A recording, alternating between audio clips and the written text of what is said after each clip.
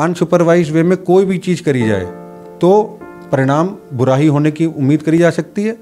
आप ट्रेडमिल पे अनकंट्रोल वे में दो की जगह पाँच किलोमीटर छः किलोमीटर, दस किलोमीटर प्रति घंटे की रफ्तार भागना शुरू करते हैं आपके स्टार्ट करने के चार से पाँच दिन के अंदर ही। आप जिम में पाँच किलो की जगह सीधे पंद्रह किलो, बीस किलो, पच्चीस किलो उठाना स्टार्ट करते हैं। इससे क्या होता है? जो आपकी हड्डियाँ कमज़ोर हैं आपका सारा लोड एक तो हड्डी कमज़ोर और उनकी वजह से पूरे जोड़ों पे असर आने लगता है, जोड़ पे वेट आने लगता है। और जब भी कभी कोई दिक्कत हो, चाहे घुटना हो, चाहे कंधा हो, इस तरह की दिक्कतें हो जो हल्का फुल्का दर्द आए, उसको हल्के में ना लें। समय रहते ही सही चैनल के थ्रू सही डॉक्टर को दिखाएँ। भाग दौड़ भरी ज़िंदगी में ना सिर्फ़ हमारी, बल्कि आपको भी कभी ना कभी घुटनों में दर्द महसूस हुआ होगा। पहले जो बीमारी घुटनों में दर्द की 50 से 70 साल के बीच में होती थी, कहा जाता था, घुटने में दर्द यानी इंसान बुज़ुर्ग हो गया है। लेकिन अब लोगों के घुटनों में दर्द 25 साल से लेकर 40 साल की उम्र में हो रहा है। कई लोग ऐसे हैं जिनको घुटने मोड़ कर भी बैठने में इसी उम्र में प्रॉब्लम हो रही है। आखिर क्यों ऐसा हो रहा है? क्या हमारी डाइट गलत है या हमारी हड्डियाँ कमज़ोर हो रही हैं? यही जानने के लिए इस वक्त हम मौजूद हैं अपोलो हॉस्पिटल में, जो कि लखनऊ के आशियाना में स्थित है। डॉक्टर सौरभ जैन हमारे साथ मौजूद है। बहुत बहुत स्वागत है। थैंक यू हड्डियाँ कमज़ोर होने का कारण अगर हम बात करें तो वो है कॉमनली हमारी लाइफस्टाइल यानी कि आज की डेट में हर कोई आ, भाग दौड़ के जीवन जीता है सुबह सात बजे आठ बजे अपने ऑफ़िस के लिए निकलता है। उसके बाद आठ या नौ बजे तक नौ दस बजे तक अपने ऑफ़िस में आ जाता है। हम डॉक्टरों की बात करें तो मैं भी सात बजे निकलता हूँ आठ बजे तक अपने हॉस्पिटल में आ जाता हूँ। धूप से जो वाइटामिन डी मिलता है कहाँ मिला? रात में आठ बजे हम लोग ऑफ़िस से वापस निकलते हैं तब धूप कहाँ होती है? और अगर बीच में निकलते भी हैं तो ऐसी कारों में घूमने के शौक रखते हैं फुल कपड़े पहने होते हैं तो धूप तो मिली ही नहीं तो हड्डियाँ इस कारण से कमज़ोर होती चली जाती हैं। और साथ ही साथ फिर हम लोग मल्टीपल बीमारियाँ ओबिसिटी ब्लड प्रेशर इन सब के मरीज़ बनते चले जाते हैं। तो एक तरफ़ हमने हड्डियाँ कमज़ोर कर दी अच्छा खान पान ना खा के अच्छे एनवायरनमेंट को एक्सपोज ना होके, और साथ ही साथ हमने क्या करा वेट गेन कर लिया और मल्टीपल कार्डियक प्रॉब्लम्स या नेफ्रो प्रॉब्लम्स अलग तरह की बीमारियाँ आपके साथ हो गई। अब आपका डॉक्टर जब आपको एडवाइस करता है कि आप इसमें सर वेट लूज करिए तो आप ओवर एंथुसियास्टिक होकर क्या करते हैं? अगले ही दिन अपना जिम ज्वाइन करते हैं, कहीं पे ट्रेडमिल पे भागना शुरू कर देते हैं, या अनसुपरवाइज वे में जो आसपास मोहल्ले के आसपास छोटे जिम्स होते हैं, या कोई भी जिम होता है जहाँ पे आप ट्रेनर हायर नहीं करते हैं वो करना स्टार्ट करते हैं। रिज़ल्ट क्या होता है?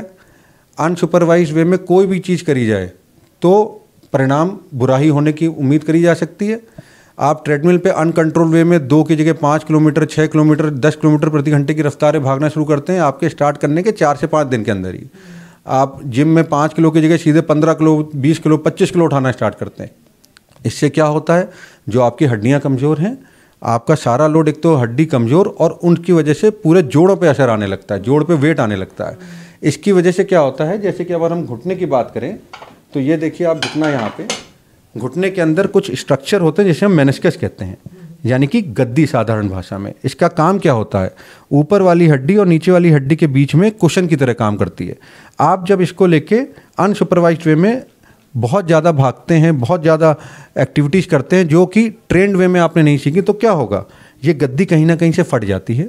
फटने की वजह से क्या होता है? इसको यूँ समझिए, जैसे आपकी कोई शर्ट है गोल गले की, अगर वो कहीं से फट जाए तो उस शर्ट को आप रोज़ पहनेंगे, उतारेंगे तो क्या होगा? वो फटी हुई चीज़ धीरे धीरे बढ़ती चली जाएगी, उसी तरह फटी हुई गद्दी धीरे धीरे बढ़ती चली जाती है।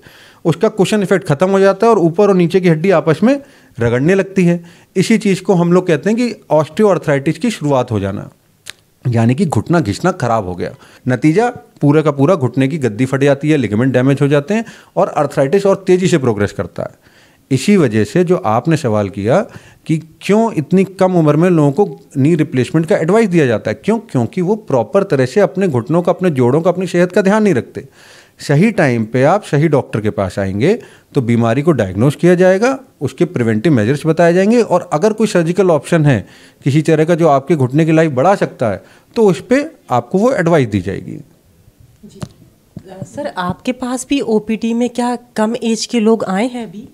मैंने आज ही सवेरे जो तीन ऑपरेशन करें हैं, जिसमें से एक बच्चा मात्र 16 साल का है, जिसके घुटने का लिगामेंट टूट गया था स्पोर्ट्स के दौरान और साल भर से उसका ये डायग्नोस नहीं बन पाया and he kept on wandering here and there दूसरा जो बच्चा ऑपरेट करा मैंने ही हिमसेल्फ बच्चा ही कहूँगा, क्योंकि वो अठारह साल का है।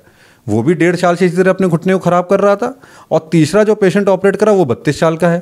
सर, एक आखिरी सवाल, अब सलाह बता दीजिए कि लोग क्या करें? मैम, मेरा तो यही सजेशन होता है, हर किसी से जब मैं इस तरह के प्लेटफॉर्म्स को यूज़ करता हूँ कि एक हम अवेयरनेस क्रिएट करें सबसे पहले और कोई भी टारगेट आपको मिले। टारगेट मतलब आपका अगर वेट ज़्यादा हो रहा है, आपकी शुगर कंट्रोल नहीं हो रही है, आपको, आपके हार्ट के डॉक्टर ने या शुगर के डॉक्टर ने वॉक करने के लिए तो सुपरवाइज वे में तरीके से धीरे धीरे उन एक्टिविटीज़ को बढ़ाएँ। एकदम से सडनली एक ही महीने में चार किलो, पाँच किलो कम करने की कोशिश करेंगे तो आप अपने घुटने, अपने कंधे, अपने जोड़ों को ख़राब कर लेंगे। और जब भी कभी कोई दिक्कत हो, चाहे घुटना हो, चाहे कंधा हो, इस तरह की दिक्कतें हो, जो हल्का फुल्का दर्द आए, उसको हल्के में ना लें। समय रहते ही सही चैनल के थ्रू, सही डॉक्टर को दिखाएँ, चाहे मुझे दिखाएँ, चाहे किसी को भी दिखाएँ, लेकिन दिखाएँ, ताकि वो प्रॉपर इवेलुएट करके आपको उसको अगर कोई ऐसी दिक्कत है जिसको हम लोग सर्जिकली ठीक कर सकते हो टाइम पे तो हम करें। क्योंकि जब एक सर्टेन टाइम निकल जाता है, उसके बाद जब आप हेल्थ सिस्टम के पास आते हैं तो फिर घुटना इस लेवल तक ख़राब या कंधा इस लेवल तक ख़राब हो चुका होता है कि फिर हमारे पास रिप्लेसमेंट के सिवा कुछ ऑप्शन बचता नहीं मरीज़ को बताने के लिए। तो ऐसी और जानकारी हम आप तक पहुंचाते रहेंगे। तब तक जुड़े मेरे साथ, मैं लखनऊ से अंजलि सिंह राजपूत।